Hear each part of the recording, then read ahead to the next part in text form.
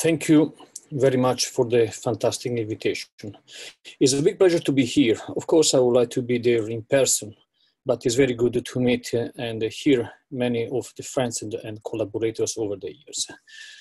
So today I would like to talk about uh, my perspective of uh, the uh, effort that has been going on for 20 years after the completion of the human genome.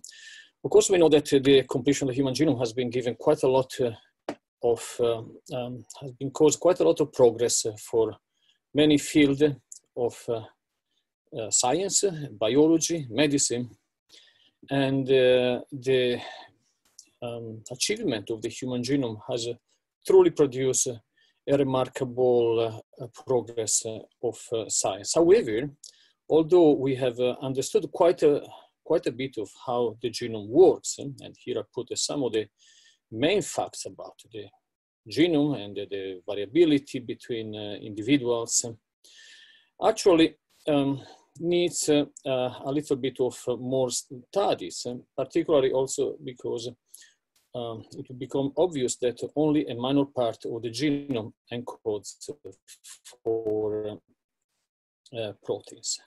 Clearly, over the years just after the completion of the genome project, various projects started to ask what is needed to characterize, to better understand how the genome is uh, regulated. And immediately after the completion of the genome, the ENCODE project started, was announced in 2004.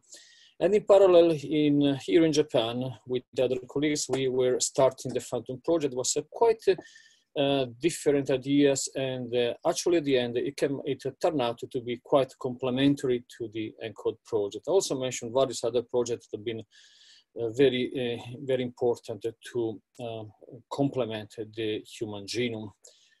Uh, but I'm going to focus essentially on on those two projects because I know I know them better. I've been interacting, particularly with ENCODE, and I've been also deeply involved in the FANTOM project.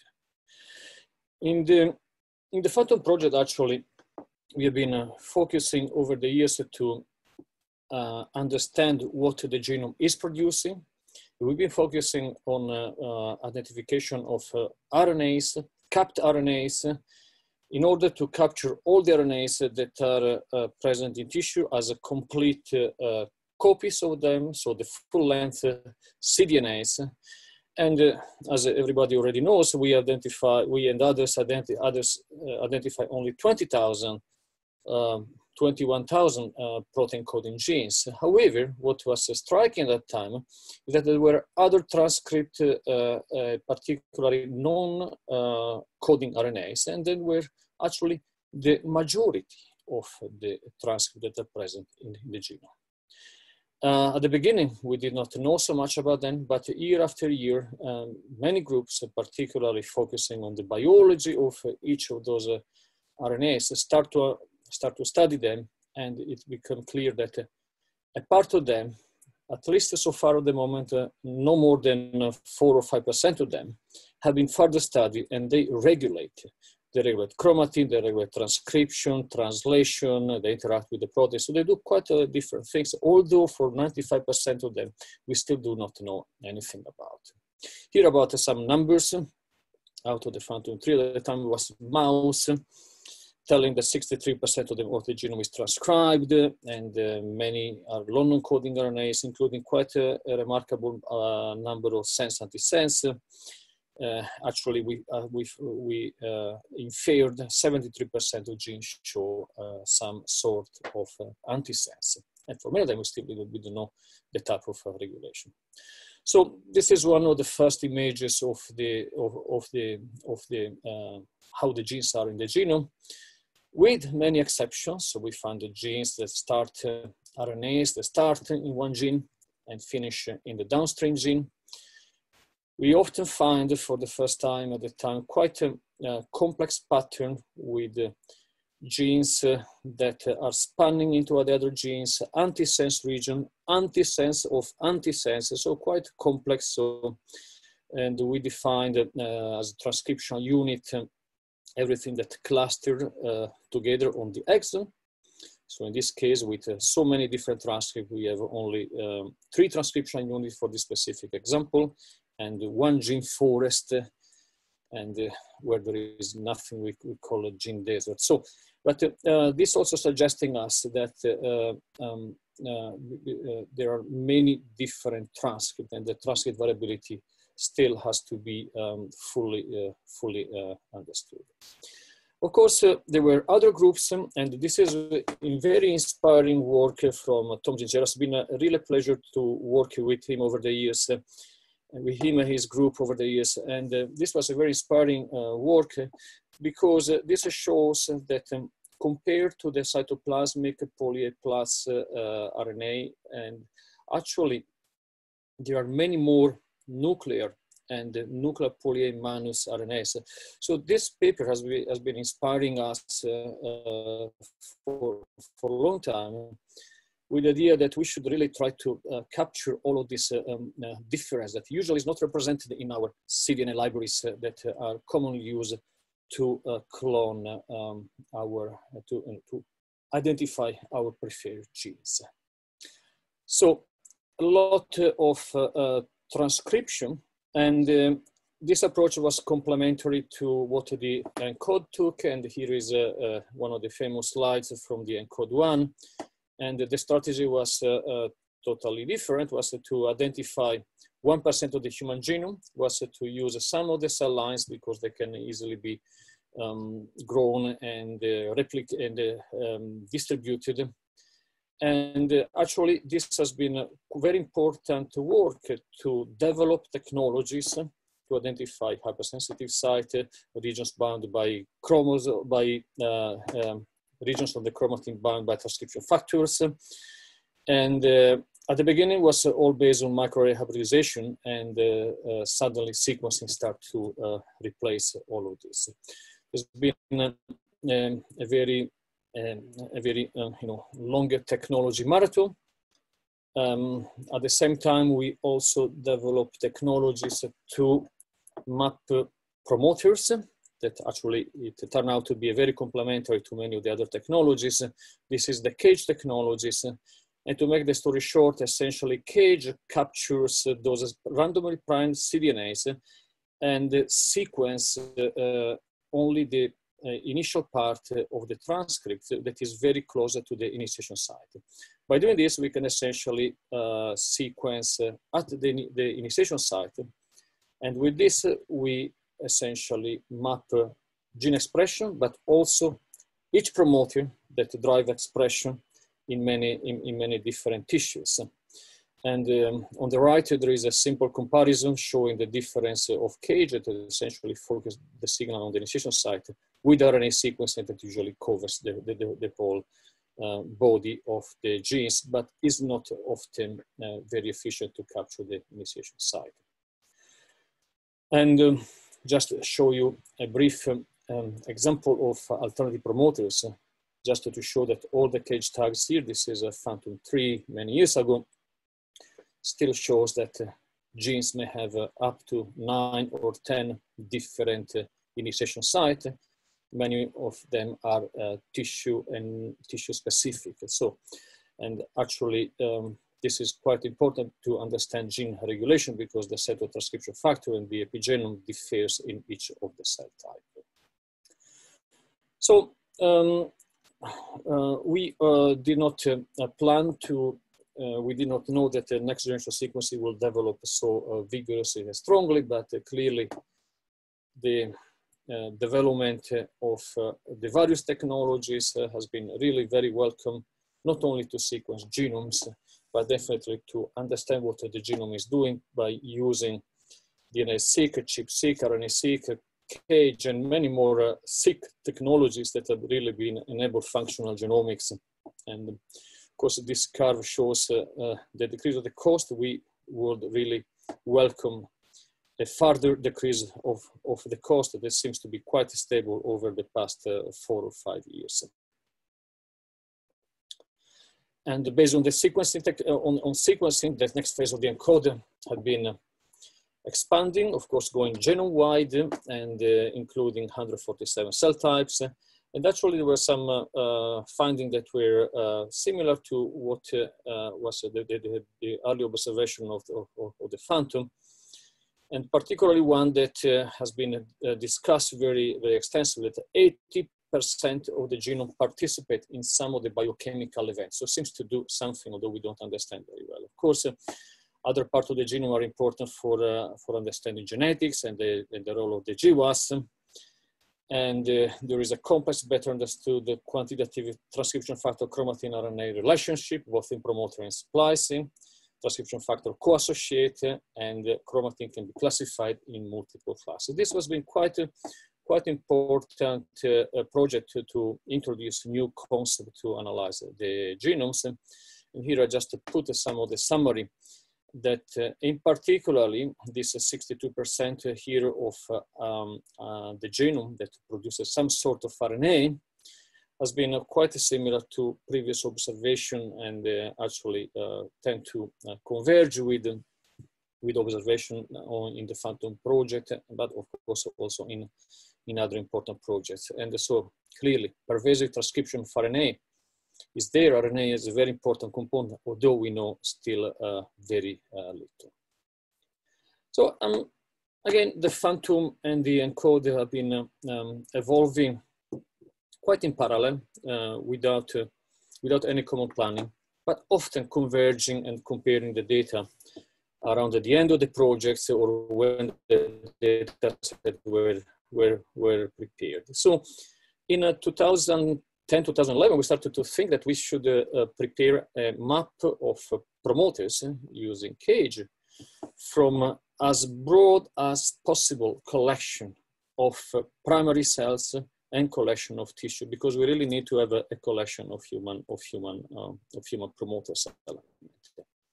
And this was uh, the FANTOM 5 where we took 100 of primary cells and follow up with uh, 32 of them with the time course to see how the um, promoters and the, the, promoter changes during the activation or various time courses. And this is a little bit uh, a fairly complex slide, so, so, we cannot go in all the details of all the different cell types. Uh, there are more than 150 human primary cells and many more tissues here. But just to give you some impression of all the type of sample from the adipocyte immunology and the mesoderm, endoderm, um, ectoderm, the differentiation of neurons and so on. And this was uh, quite important to, to identify the diversity of promoter and something else that I'm gonna comment later. In particularly, we did for all those samples cage. So with cage, we can identify promoter and infer the type of network the transcription factors that are important, that are enriched in the, in the promoter that are in, present in each cells. For a subset RNA sequencing, small RNA sequencing, some other assays uh, to um, identify all those different cells. And to have a, a first look at how looks this diversity, we've been uh, clustering um, variety of promoters that have similar expression features and uh, uh, how do they map compare to the cells of origin. So we can see the whole diversity of promoter uh, activity here. But also what we can see is that those tend to cluster for uh, different cell types. So immunocells and central nervous system and uh, um, placenta, epithelial, mesenchymal cells. And uh, uh, I think that this was a quite, a quite important exercise because we also found that uh, the cancer cell lines, and many of them were used during the ENCODE 1 and the ENCODE 2, they occupied quite specific space of the transcriptome. But this suggested that, that to really broadly identify the human biology, we really need, need to uh, identify and characterize many different cell types, in particular primary cell types, and from now on as much as possible of tissues out of the human body. Um, some surprises when, when you um, use those uh, powerful technologies, usually you always find something new.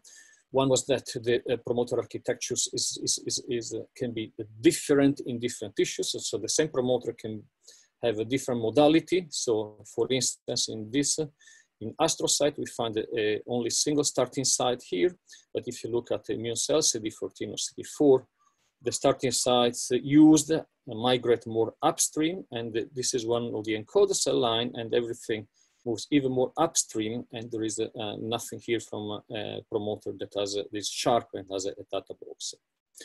So the idea is that uh, promoter have sub-modalities of promoter. Within the very same promoter, you have various elements that, that are differently active.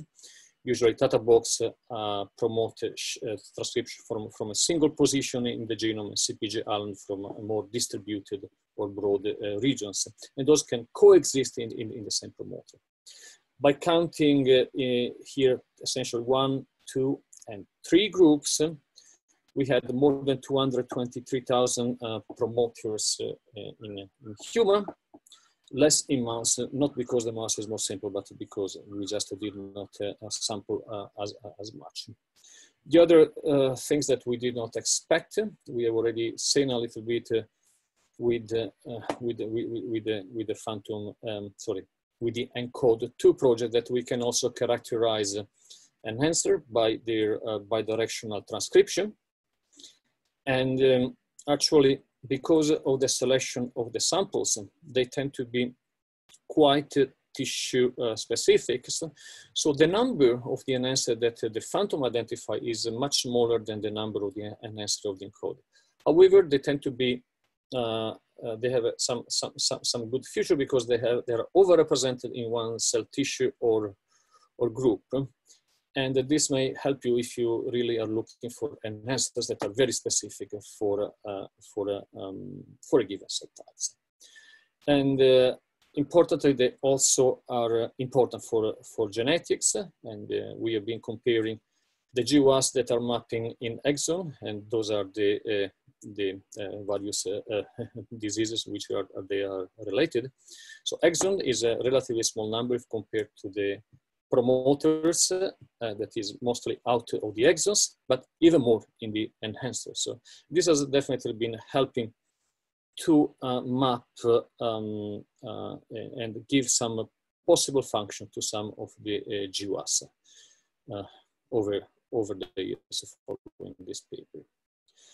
And again, um, after, after FANTOM project, there is always, always some ENCODE project, and this was a really uh, remarkable achievement and really would like to congratulate with all the authors and uh, of those papers and uh, uh, actually the number the number of the cells and the number of the data set the number of biosamples been massively expanded 503 biological tissue types.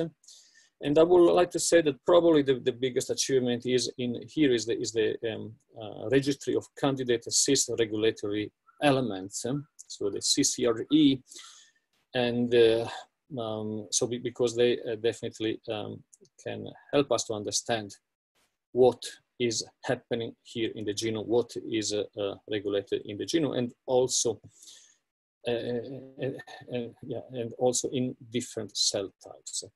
So the registry is massively large with more than 926,000 candidate uh, cis regulatory element.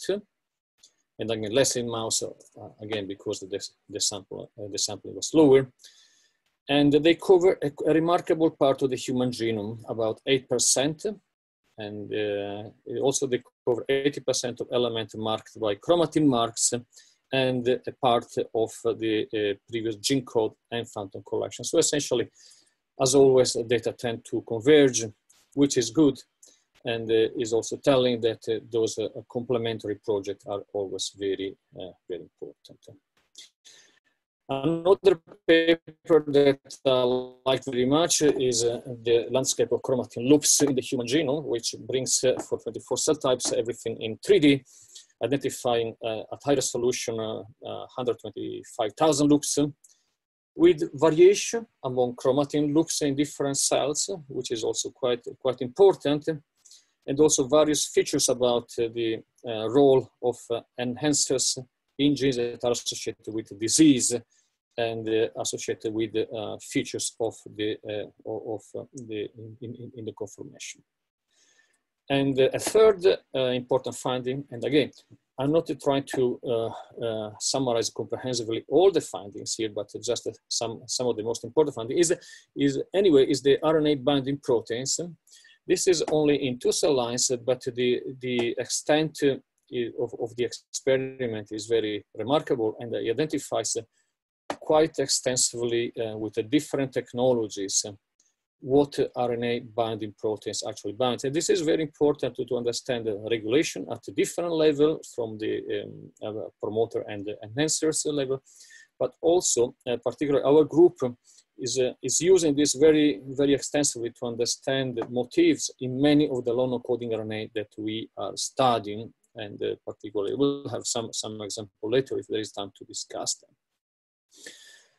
So here is for the ENCODE and uh, a little bit what uh, we are uh, working on the long coding RNAs because they need to really, um, they really need some, some effort. We have been recounting the long coding RNA uh, in 2017 with Chung at the time when we publish, uh, uh, we found some uh, divergence with the GENCODE. We have been discussing after this. I did not update my slide. Apologize for this. And actually, um, those FANTOM cat that for which we found um, evidence from a cage promoter and um, additional chromatin marks are quite uh, remarkable. This is a robust data set if you want to look at the permissive, so the aggressive way to count them, there is even more. Um, importantly, also the long non-coding RNAs are mapping, um, um, in, uh, have interesting mapping data compared to the disease. So if you look at the expression of the non-coding RNAs, versus the traits, which is uh, um, traits that have uh, some uh, map. So we find that very often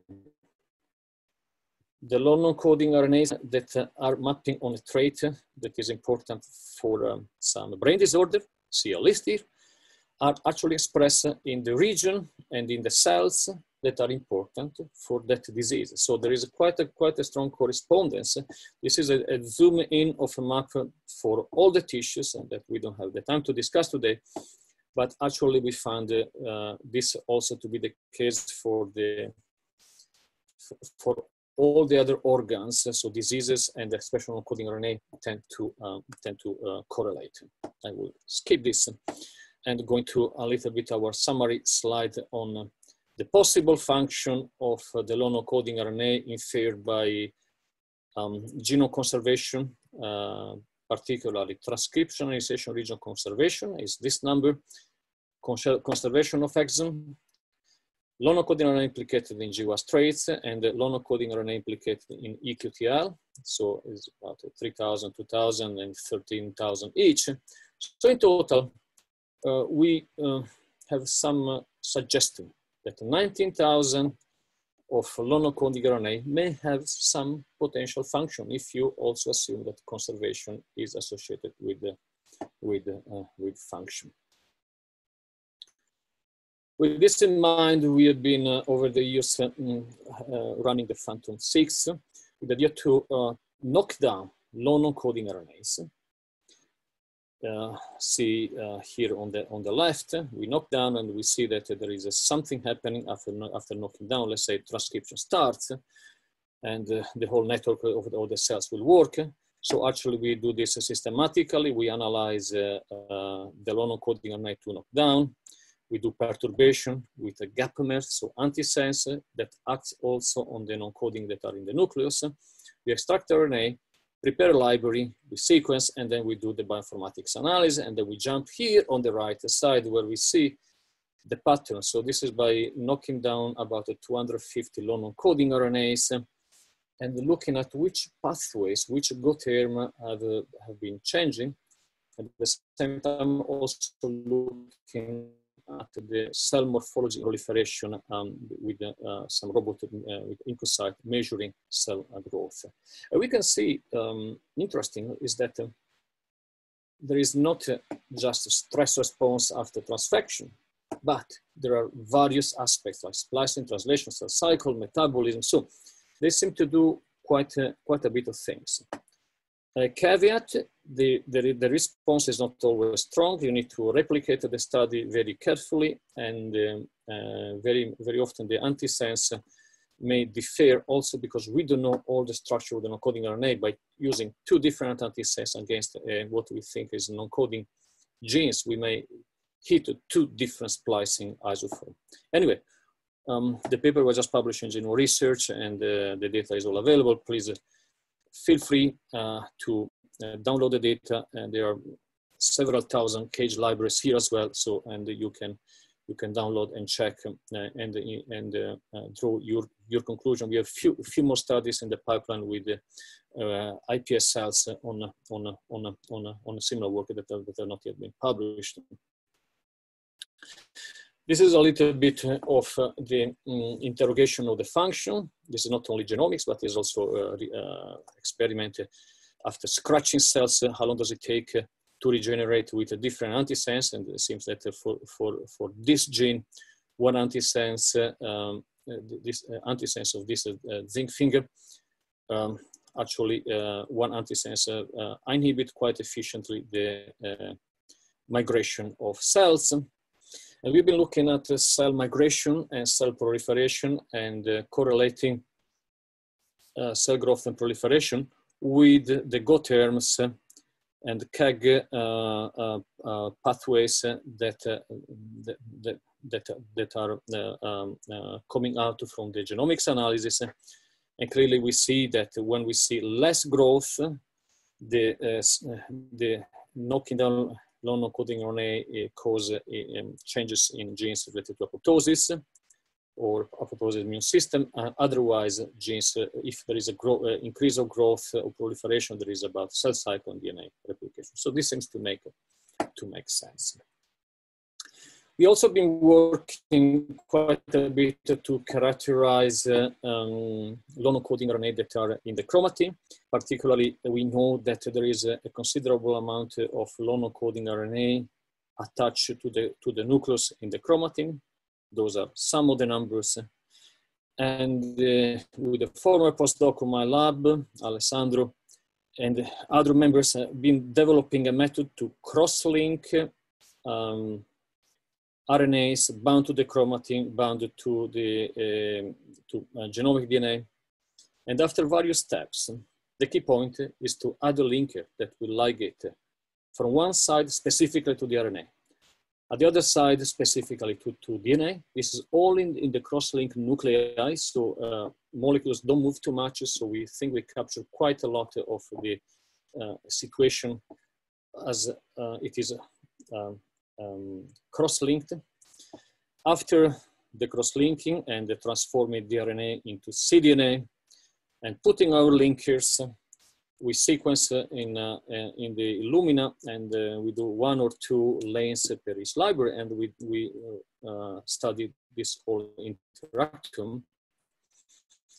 And actually um, is a pattern that somehow has a correlation with the, with the Hi-C pattern, but of course one side is RNA, the correlation is between 0.5 to 0.6, but also we see quite a, quite a, quite a different things as well.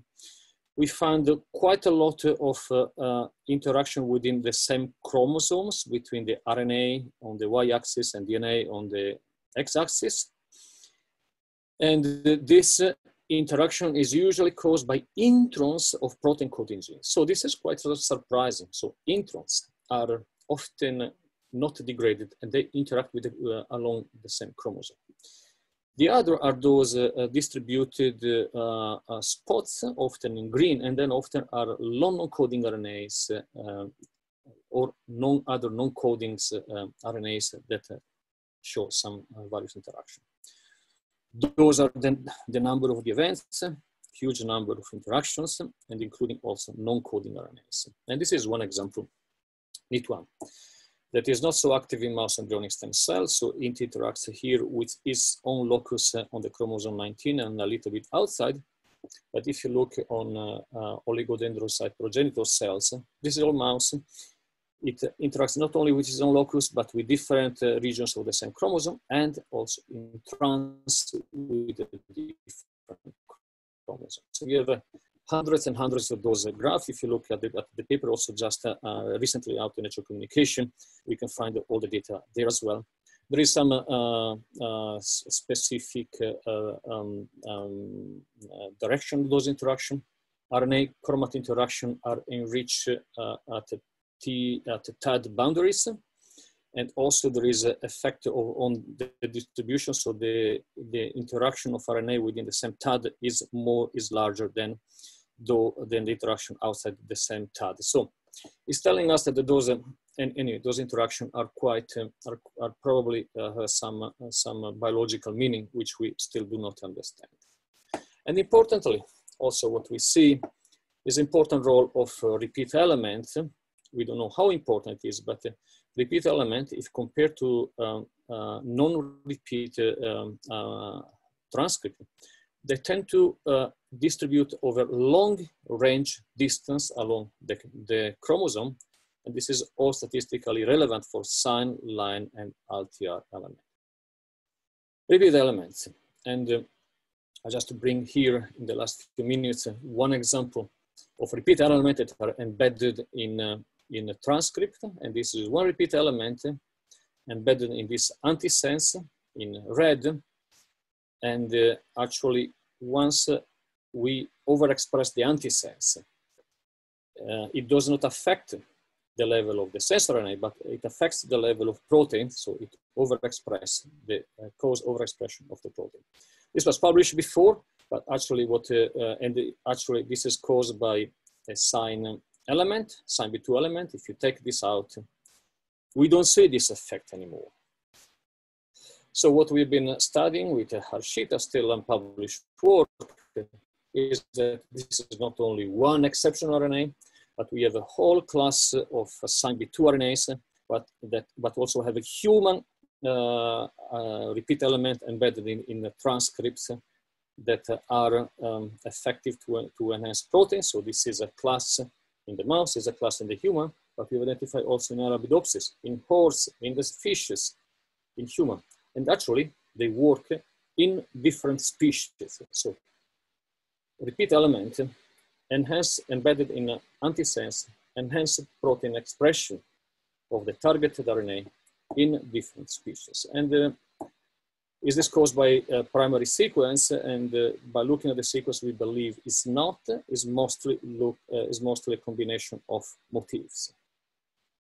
And um, actually, we just show very briefly using a model of COX7B, that is a haploinsufficient gene, that in Medaka fish, the mouse uh, element can rescue a phenotype induced by morpholino that I inhibits splicing here.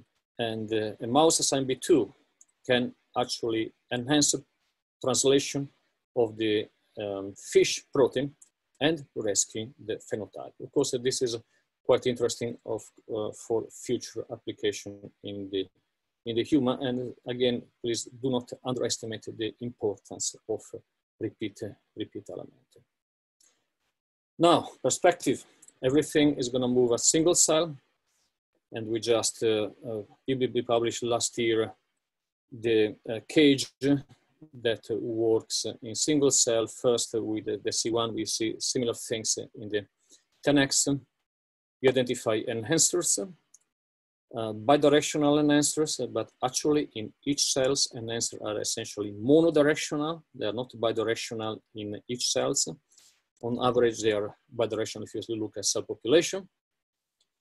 There's a good correlation with the DNase hypersensitive site and the chromatin marks. So essentially, we can map uh, in the in a single cell traits, identify promoters, and and going to um, genetics, uh, uh, working with single cell. And particularly, the concept here is that uh, we will um, you know, map those regulatory elements correlated to the SNP, uh, try to understand the expression of QTL in each of the specific cell, uh, cell type.